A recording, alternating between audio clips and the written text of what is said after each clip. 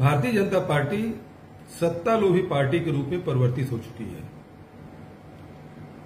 केंद्र में बैठी हुई सरकार हमारे एक एक संवैधानिक ढांचे को कमज़ोर करती जा रही है। चुनी हुई सरकार को गिराने का काम लगातार जारी है। इसके अनेक उदाहरण हैं। राजस्थान में भी ये चुनी हुई सरकार को काम करने नहीं दे रही है। केंद्र के इशारे पर राजस्थान के राजभवन में जो कुछ घटित हो रहा है, वो आप सब देख रहे हैं।